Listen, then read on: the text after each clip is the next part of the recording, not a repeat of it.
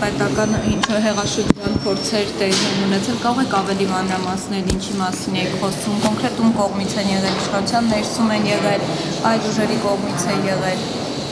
հարցազրույցի ընթացքում հարցն է այդպեսին եղել եւ ես իմ պատասխանում հիմնականում խոսել եմ այն մասին, որ բարբերաբար ու այսպես կոչված ընդդիմությունը կամ նախկին իշխանությունը փորձել է տորպեդահարի եւ նրանք օգտագործել են եւ գործիքներ եւ մարդկանց շատ մարդիկ տրվել են այդ գայթակղությանը եւ հետեւել են այդ մտքերին կամ գաղափարներին եւ փորձել են քայլեր ձեռնարկել ու դրա արդյունքում կարող եմ ասել, որ որևէ հաջողություն չեն ունեցել։ Ովքեր են եղել։ Տարբեր մարդիկ են եղել, այս բան անուններ չեմ նշի։ Իրավական հետևանքներ ունենալու են, երբ դու կանոններ չեք նշում, բայց ենթադրում եմ իրավաբանները պետք է զբաղվեն լուրջ հայտարարություն եկան։ Նայեք, ընդհանրապես ինչ որ մտքեր ունենալը, գաղափարներ ունենալը մի քիչ դժվար է դատապարտելի լինել, էլի։ Այսինքն գործողությունների չեն հասել դրա։ Գործողությունների մակարդակով գործողություններն էլ այնպեսին են, որ երբեմն դրա դրանք հստակ կապելը նպատակի եւ երազանքների մարդկանց հետ դժվարություններ առաջանում, բայց դա կարող եմ ասել կանխվել է եւ այժմ որևէ վտանգ չկա։ Կանխվելուց հետո ինչ հետևանքներ են դա ունեցել տարբեր հետևանքներ են ունեցել։ Օրինակ պաշտոնանկություններ եղել են։ Եղել են նաև պաշտոնանկություններ։ Ում մասին է խոսքը, ովքեր են պաշտոնանկ եղել դրա արդյունքում։ Քրեական գործեր կան։ Քրեական գործեր այս պահին քննություն է ընթանում, եթե քրեական գործի անհրաժեշտություն լինի կլինի։ Վերջին շրջանում եղել է ոստիկանապետի ԱԱՑ տնորենի պաշտոնանկություն, պետական պաշտպանության ծառայության, այդ կարող ենք ենթադրել, որ դրանք մարդիկ են, ովքեր որ կապված են կամ գոնե աչք են փակել տեղի ունեցածի հետ կապված։ Ես անունների մասին այս բան հստակություն որևէ չեմ մտցնի։ Ես կարող եմ ասել, որ առաջացել են նման խնդիրներ եւ ու նաև ողջամիտ կասկածներ են առաջացել, որ այդպիսի նպատակներ կան եւ կանխվել են եւ դրա օգտագործման տարբեր ձևեր են եղել սկսած fake նյուզից կամ fake ինֆորմացիայից մինչև տարբեր տեսակի,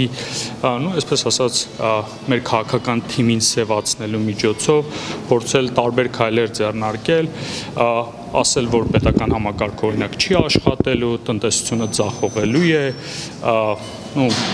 պատերազմի մասով, որ հողեր են քազնում, ամեն առավոտ ելնում են, հայտարում էին, որ հողեր են քազնում, որ նույնիսկ հասել են մակարդակին, որ հայտարում էին, որ Հայաստան սպառազինություն չի մտնում, նույնիսկ կուսակցության մակարդակով այդպիսի հայտարարություններ եղել, բայց վերջում 2019 թվականի արդյունքները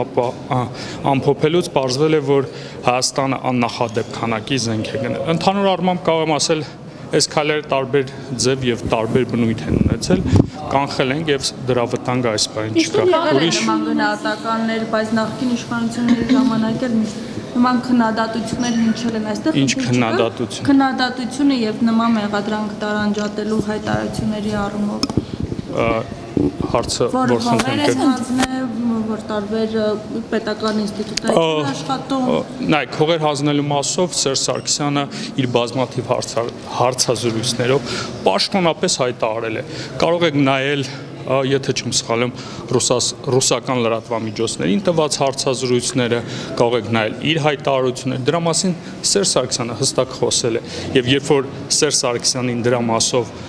մեղադրամ մեղադրան կամ քննադատություն եղել, դրա համար հիմքեր եղել են։ Մեր կառավարությունը այդ մասով հրաապարակային խոսել է այն, ինչ կատարում է եւ ընդհանուր առմամբ կարող եմ հստակ ասել, որ հենց խնդիրներից մեկը դրա մեջ է, որ հաճախ մեզ փորձում են նախկինի տրամաբանության մեջ դնել, որի հետ որևէ կապ չունենք։ Դա որպես պետական ապարատի դիմադրություն թուրիցիան նշան չի իշխանության կողմից սա նման գնահատականը, որ նմանատիպ քննադատություններ ընկալել որպես հեղաշրջման փորձ, թե կա այլ ինֆորմացիա, որը չեք ասում։ Քննադատությունը։ Դա դա քննադատություն պետական ապարատը, որ չի աշխատում, որ հայտարարի պետք է էլի հասկացանք։ Քննադատությունը երբեք չի կարող ընկալվել որպես կամ քրեական գործի հիմք կամ հեղա, հեղաշրջման կամ այլ բանի փորձ։ Իդեպ երեք չեմ մյուս օր, եթե չեմ սխալում, էկոնոմիստը հրապարակեց ժողովրդավարության ինդեքսը, որտեղ Հայաստանը մեծ առաջընթաց է գրանցել եւ առաջընթացը գրանցել է հենց ա, բազմակա նաեւ բազմակարտության պատճառով դա տարբեր գործիքներով են չափում ժողովրդավարության մակարդակ եւ ժողովրդավարության մակարդակի Հայաստանի բարձրներ կապված է նաեւ բազմակարտության, իսկ դա նշանակում է, որ մենք հանդուրժում ենք նաեւ խորախոս հանդուրժում եւ խրախուսում ենք բազմակարտություն եւ բազմակարտության մասով խնդիրներ չի կարող Ավելին որի մասին Ա, լավ, եկեք Սպասեք, որի խնդրեմ, մասին չեք խոսում։ ի- ինչ մտնոլորտ չենք Բախում մտնոլորտ չեք ստաց որ մարդիկ կաշկանդված լինեն քննադատություններ ներկայացնեն, այդ թվում որոնք դուք կարող եք դիտարկել նաև որպես անվտանգության Երևի Հայաստանը միակ երկիրն է աշխարհում իր ամբողջ պատմության ընթացքում, որտեղ ճակերտավոր ասած 37 թվի պայմաններում Հայաստանը գրանցում է ժողովրդավարության առաջընթաց այսօր նաև հրապարակվել է Transparency International-ի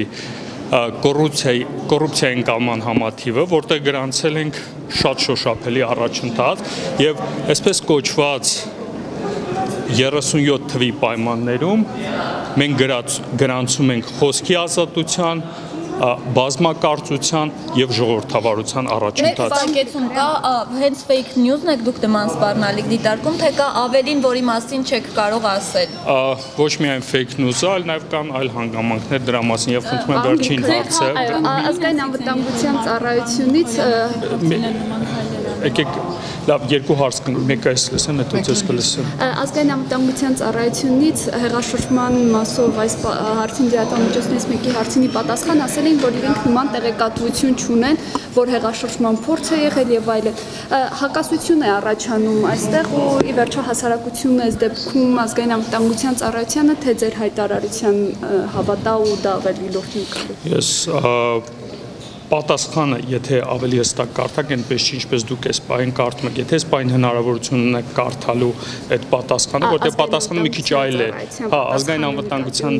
ծառայությանը։ Խնդրեմ մեկնաբանել։ Ովքեր իրենք ոնց որ Ես այդ հայտարարության մեջ հերքում չեմ տեսել մյուս Ձեր հարցը։ քաղաքական թիմի ներսից եղել են մարդիկ, ովքեր գործել են նման հայլերով։